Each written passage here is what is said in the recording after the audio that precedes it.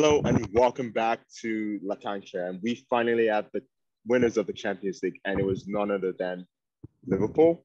No, Real Madrid. Yay! Yay! And, and, and to and to celebrate Real Madrid's title, we brought on resident Real Madrid fan. Not Tapiwa this time, unfortunately, he's somewhere in a ditch celebrating in Vancouver, but Varad is coming in his place. So, Varad, how did Hello. Real Madrid win this? Um, actually, this whole Champions League campaign, not just Champions League campaign, but the whole season, it kind of was a tipsy turvy because uh, no one expected Ancelotti to do this. Okay. It was supposed to be a transition season where Ancelotti would take care of it for one season. That was the expectation. And it, it just it was a roller coaster. It just went on and on. It escalated during the mid-season too if you look at the uh, go back and observe all madrid fans reactions most of them we were not sure will, where will we to be honest la liga was quite in hand but champions league it escalated post round of 16 Yeah, I mean, did you- did you expect this at, at No. any point? Did you expect No. Real Madrid No. to win it? no. even after the first leg of uh, round of 16 against psg no it was So totally unexpected So when did you actually believe? Is it after the final whistle against Liverpool? That's when I you're like, think oh uh, wow. the Chelsea game, Chelsea game, Mm. Chelsea game, Yeah. we started the, the Chelsea game, the first leg we started believing. And what do you say about people who call who have called Real Madrid lucky throughout this campaign? Uh, look, yes, it, it, it's a bit of luck. Okay, of course, you look at the games. Uh, PSG dominated us. Yes, Chelsea second leg, first half, they completely dominated us. The thing was, when you do it again and again, match after match, leg after leg, tie after tie. I mean, there's a bit of mentality, Real Madrid mentality that comes into effect. You can't call that call that luck because you look at Yeah. those players, Benzema, Modric, Carvajal, all these players have got tremendous experience with them. They know how to turn around these games. Yeah, and that's And what makes them so special. Yeah, it's kind of there. Build that skill, build that mentality. When you come into Madrid, you play for those years 8, 10, uh, 12 years. And kind of, you know, people will call it lucky, but it's actually not luck. It's actually Yeah. the skill mentality they have developed for years and years. Yeah, because they do this all the time. It- not just this season, but I remember against Bayern Munich in 2018 when Keylor Navas you- had an absolute blinder. you look at those uh, the what do you say golden phase of Real Madrid Champions League. We made semifinals till 2013 season, but from the 13-14 season, I mean, you look at the mentality, you look at those players. I mean, Yeah. it was actually what do you say? Uh, those past five years before 2013, those f- past five years, it actually built in. We actually developed. We actually you say you look at Cristiano, you look at Modric, look at Ramos, Marcelo. They actually honed that Real Madrid uh, mentality into that team. I'll bring I on Oscar. Uh, Carlo Yeah, Ancelotti too, uh, like he he knows what Madrid uh, embodies, you know, and he actually took care of the season very well. I mean, Yeah. without Ancelotti, I don't think so. Any other manager, like uh, except Zidane, would be able to recover or be able to achieve this this season. Yeah, because Zidane, he was in the final, and I'm sure he must have been like, you know what, this is my team. I I sort of did the work. I did the groundwork to allow this to succeed. Because let's not forget, they were in the semifinals last season. Yeah. Yeah, this is one thing which uh, people forget. Yes, we had a trophyless season last la- uh, last time, but we actually made the semifinals, and we Yeah, were playing good in the Champions League also. I Yeah. mean, the game against Liverpool, uh, we actually outplayed them. Yes, and they were like just to pass away from La Liga. But Yeah, Varad, I'm going to bring in. Stamford Bridge last season was kind of like uh, you you get to know like yeah, Real Madrid had so many gaps. Yeah. I'm going to bring in Oscar for a bit because, Oscar, let's talk about this from the other side of the El Clasico rivalry because you are a Barcelona fan. And when you look at Real Madrid and you look at these epic comebacks. What do you think Barcelona lacks? Because you get the feeling that if they're in that situation, Barcelona don't come back.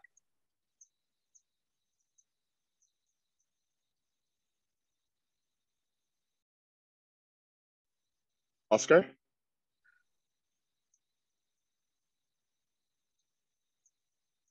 Well, while we wait for him, I, I yeah. just think, yeah. So, what does Barcelona lack in these kind of games? Yes. That Madrid um, do so well. Yeah, I feel like if I'm to make a comparison, Barcelona are kind of like a flower. Like at their best, it's beautiful to see, but then there's a bit of like fragility where it's like when we when things don't go our way, it's like we don't react well enough because we're not used to things going our way to an extent. Because yeah. we've been very, very dominant, and it's been a very good blessing to be dominant since the early 2000s. And you know, those kind of periods don't always come for everybody, so you have to enjoy it while you can. But I also feel like a good point Varad made was like you know, the years where Real Madrid were always close, but they didn't get there, those years of failure, in quotes, some people would call them, those years actually built this mentality up. And now it's like second nature to them, wherein that yeah. they're, anytime they're, you push Real Madrid to the edge of a cliff and they find a way to stay balanced and then push you off. So I feel yeah. like, yeah, we're in the situation where we might be developing that mentality now because compared to Valverde's last season and Setien. Under Koeman a bit, under Xavi, I see some a bit of re- I see more resilience from us. So hopefully these years, these like barren years, can be a good lesson for us, like yeah. it was for so, Madrid. Yeah. So let's get back to the game. And uh-huh. before the game, like I, I think you you called a Real Madrid victory. I called a Liverpool victory by one goal mm-hmm. to zero. So, but it was the other way around. And mm-hmm. in the game, in the first 40 minutes, it looked like it was Liverpool that were going to get the job done. And how big were Real Madrid and Thibaut Courtois in those 40 minutes? Because he kept them in the game, if we're being honest. Yeah. Yeah. Uh, about the luck thing, I've seen a lot of people say Real Madrid are lucky. Like, you can't do the same thing five times and say it's luck. It's part of them. And also, depending on Courtois, who is the best goalkeeper in the world this season, it's not luck. You're just depending on your best talent in that position, right? Yeah. So I feel like, yeah, that it's not like luck is part of it, obviously. Every good team has an element of luck because football is a sport where it can go either way. Yeah. But yeah, Liverpool, they had their chances in the first half and dominated. But if you don't kill this Real Madrid team, they are going to kill you with their first shot. I like I've said this on this pod so many times, and I've watched Real Madrid a lot this season. I always count if the opponent has five chances and they don't finish them, Real Madrid will score their first or second, and that's what happened again. That Vinicius yeah. was their first leg- legal yeah. shot of the game. So yeah, it's pretty much how Real Madrid do it. They are what, what, did you call? What did you call Courtois in our chat in our group chat? I, I've called him a bastard. I call him a devil. I call him a demon. I called him a god. I, I have I've run out of for the guy. He's incredible. yeah, yeah, actually, if you look at uh, Courtois, uh, uh, what do you say? Yeah, it, in Spain, uh, I remember in the I think it was 12-13 Copa del Rey final, Mourinho's last game as Madrid's yeah. manager. We, we lost it. Uh, we lost the Copa del Rey final at the Santiago Bernabeu. Uh, yeah, you remember one thing? I think it was the extra time where yeah, yeah, a lighter on his head. Oh yeah, that's true. And, and yeah, he was and magnificent in that now. game. I mean, uh, yeah. at first, even I was skeptical. Like, come on, it's an Atletico player. You can't love him like as soon as he gets to Madrid.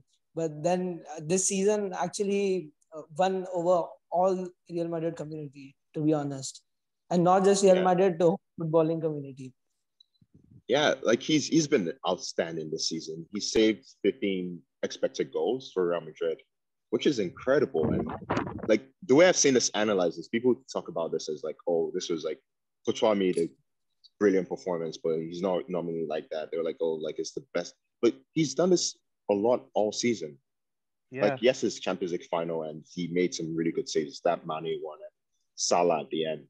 But he's, I think he should be in the conversation for the Ballon d'Or in terms of top five at least.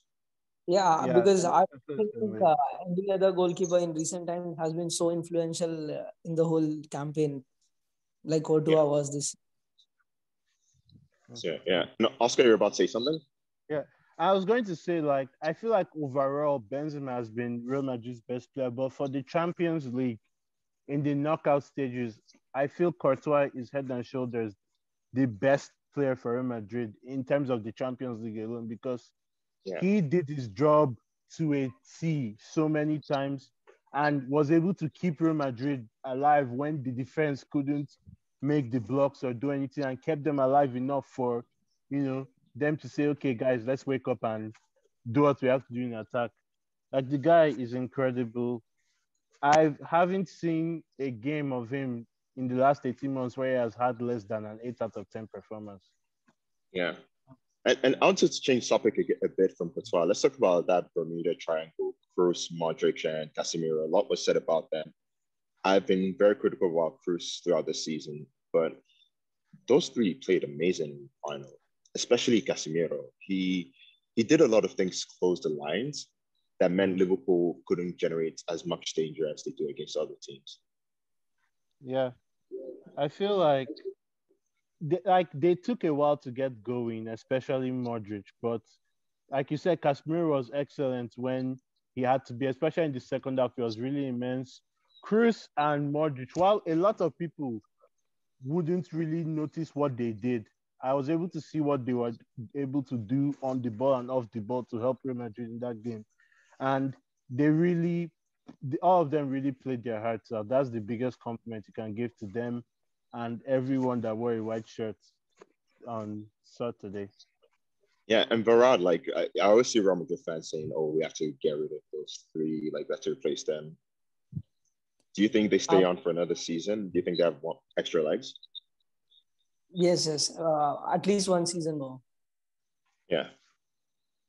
And mean, yeah, can someone like Casemiro, I think uh, he's gonna stay on like at least three to four years more. yeah, He, had his on and off this season. To be honest, he was not actually at his best this season. He had his on and off games, but I think when it mattered the most, Casemiro did his job. The job he was sent out to do on the pitch.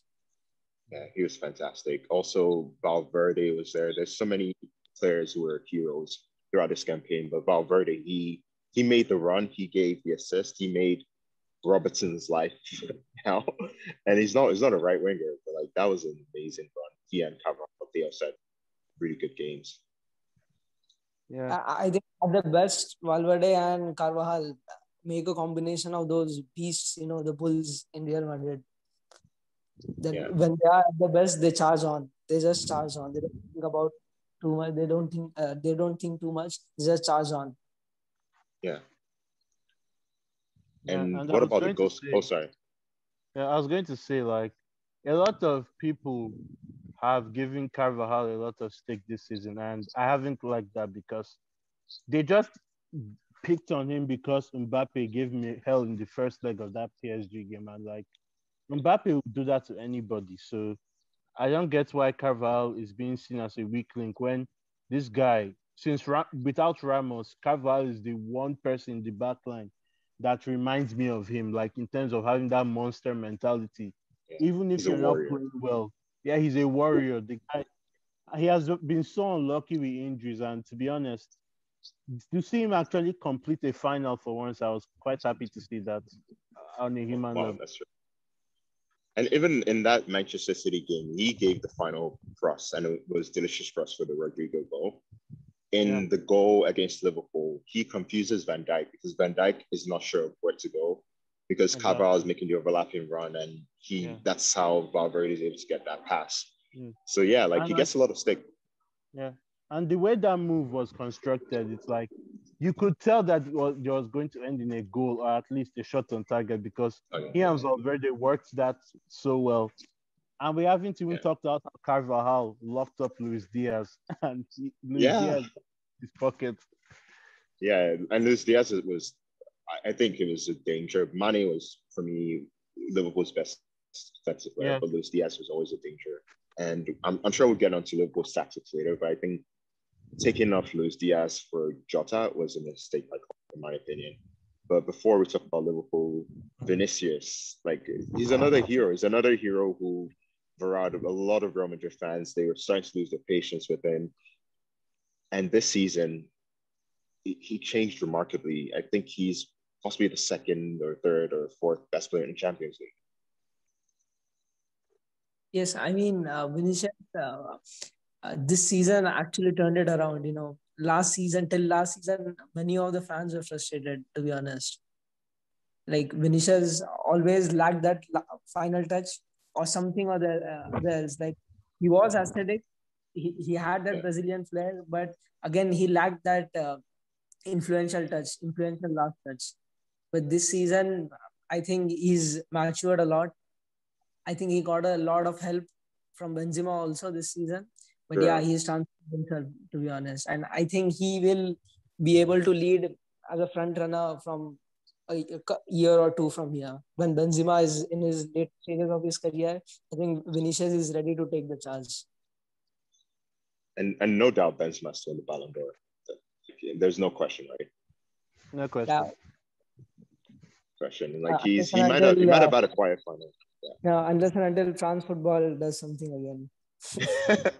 no, he's French. I, I think the the one's good. He might have had a quiet final, but he was so influential in that game. Like I know Courtois gave Real Madrid the platform to make those amazing comebacks, but like Benzema to put the ball in the back of nets, like a hat trick against uh, PSG, scored three against uh, I think scored four against Chelsea.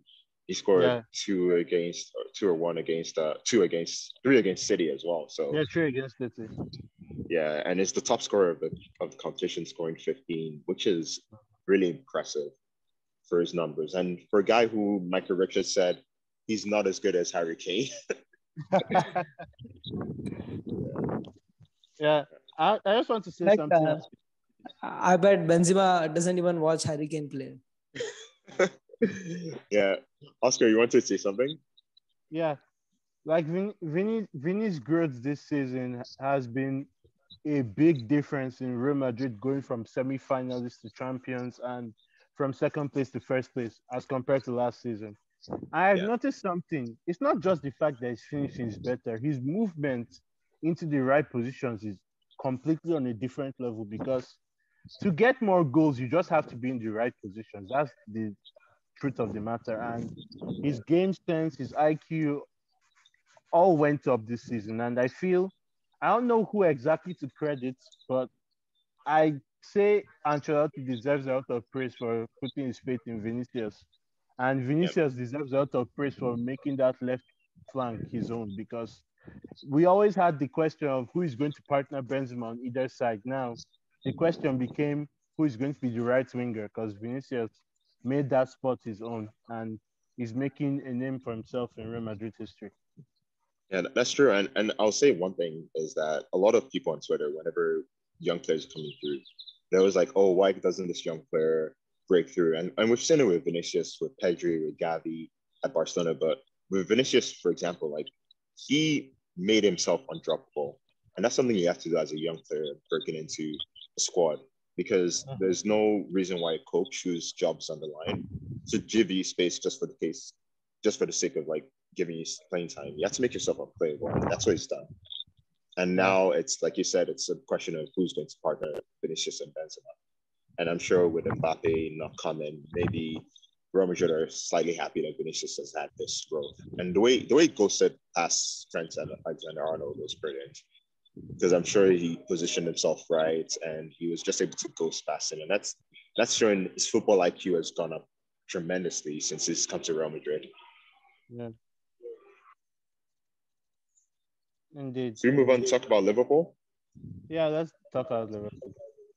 Yeah, and one of the best performances performance for Liverpool, I, I'll say two players, Konate and Mane. They Yeah. were two of the outstanding players. Like they could have won the final by themselves. Konate, he did a good job against Benzema and Vinicius. He really kept them quiet for long spells of the game. Yeah. The thing is that Konate is going to feel really bad because this is his first defeat as a Liverpool player. Wow. yeah, so I'm like, I, I remember that start time. Like, if anyone is going to be the first person to take him down, it's going to be Real Madrid because it's a Spanish team versus a non-Spanish team in the final. What else is going to happen? yeah, but yeah, I agree. He was brilliant, like he has always been. I feel like if he continues like this, he's going to be a very good player. Mane as well. Mane and Diaz were really good, but then Diaz started to trade away into Carvajal's pocket, but Mane tried to stay active. But still, there's only so much you can do when you're facing the giraffe in goal. Oh, and Salah didn't get his revenge that he promised yeah. everyone was going to get. Yeah. Yeah, I was really disappointed with Salah, honestly. I, I was watching his game with my brothers and they were laughing at how timid he was in the first half because he, he didn't show any intent to try and go past Mendy. Like I know Mendy yeah. is difficult to go past, but at least try. Salah, like the personality that he Liverpool needed from him, he didn't deliver on that, and I felt that was disappointing. Uh, what's changed for Mo Salah? Because in the first half of the season, it was amazing. People were like, he's going to win the Ballon d'Or. And he was generally possibly the best player in the world at that point. But in the second half, he's, he's fallen off. Yeah, I feel AFCON, losing AFCON the way he did, kind of hurt him. And he just hasn't been able to recover from that. He's still been pretty good, but like the levels of the first half of the season, there's a clear difference, like you've said. Yeah. And was do you think like I think bringing taking off Luis Diaz was a mistake for Jota personally, but it seems like you don't share that opinion. Uh, I felt like Luis Diaz was losing effectiveness, and he, he he wasn't actually as electric as he was against say Villarreal or other teams.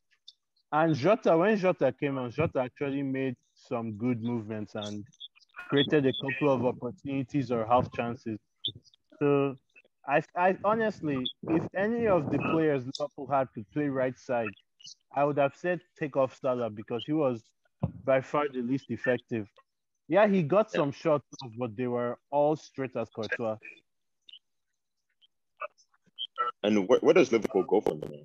Because they were close to the Premier League they lost that in the final. They in the Champions League, they tried, they half them off, but they couldn't get past the giraffe. Is this yeah, a success? I mean, is this a failure for them? I think lots of divided opinions on this. I feel like it's not a failure because winning the Champions League isn't easy. They've gotten to three finals in the space of five years. Is it like that's incredible in and of itself? So they just have to keep doing the same thing. As for the Premier League, they're up against Pep Guardiola, so I can't blame them for finishing with like something point and getting second because in another against any other coach, they probably would be winning more trophies than they have already. Yeah. And I heard a stat that they've only lost they've only lost four games, including the Champions League, which is incredible. Yeah, that's that's mad, honestly. Yeah, so it's, it's you're talking about like high standards. But I'll take I'll take picture away from Liverpool and I'll go back to Real Madrid because I'll talk about the fact that Real Madrid they've won five Champions Leagues in eight years or five Champions Leagues in nine seasons, depending on how you want to spin it. Mm-hmm. That's insane, right? Yeah. Yeah, Varad.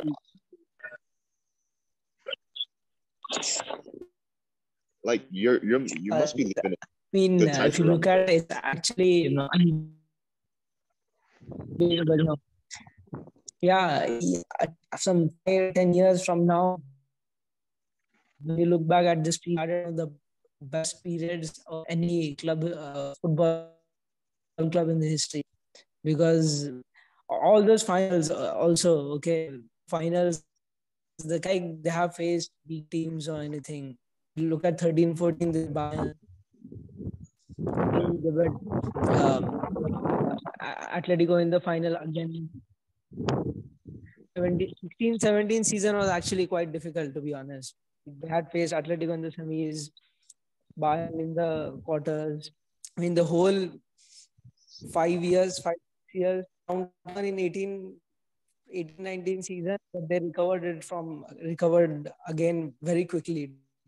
Not in the league, but in the uh, Champions League, they recovered quickly. And I think it's down to the experience which uh, all these guys have gained the last 10 years.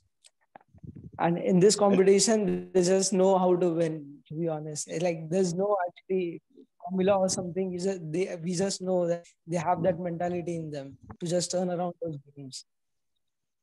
And which one is the most special out of the five that you've seen? Because it, it's funny that Real Madrid have won five in nine years because they went 12 years searching for the elusive La Decima.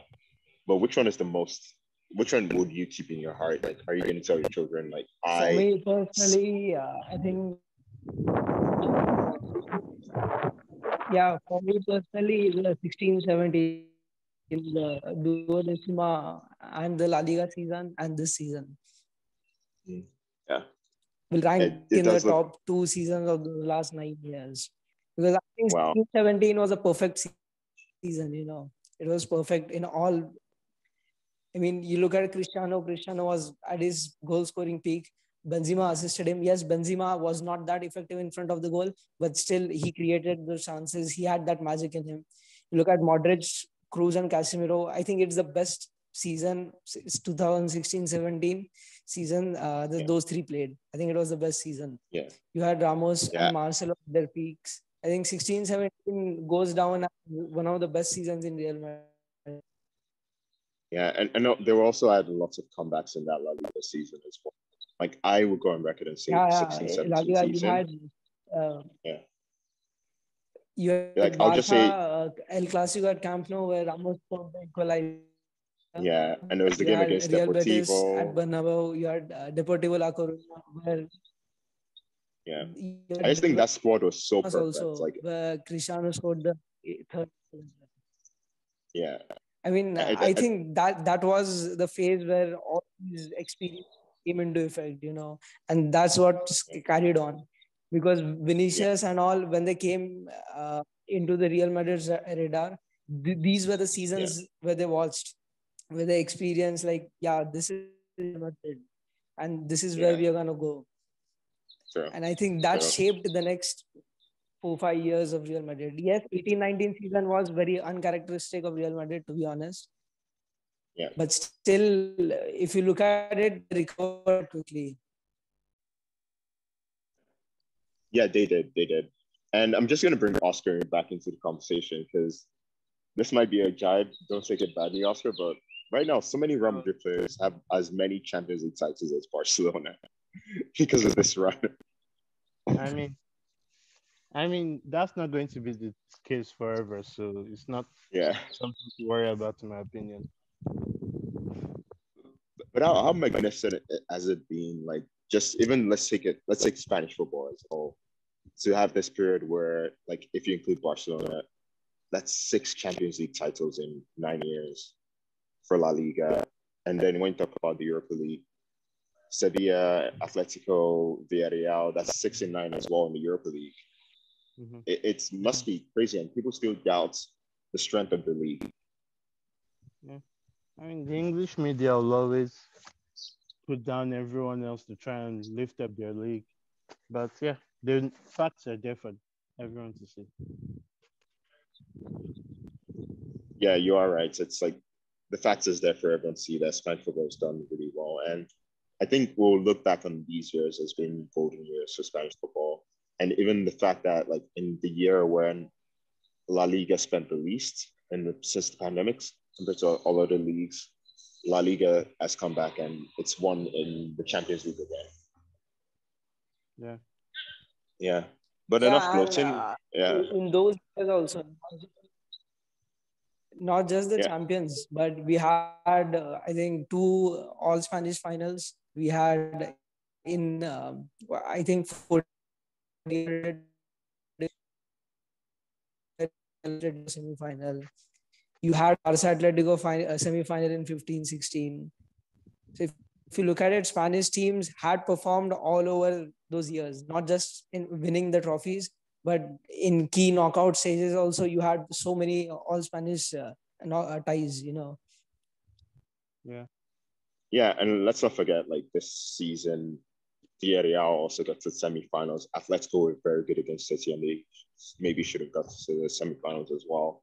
And this was a year when I believe Lothar Matthäus said that like Spanish teams have no hope in the Champions League. So for me, as a fan of Spanish football, proud fan of it, like I I feel this has been one of the best campaigns I've witnessed in my life. It's following it, but yeah. Enough gloating. Let's move to La Segunda, where there was some football after the Champions League. And it, it had plenty of drama, right? Oscar, like we were all thinking about Almeria. Yeah.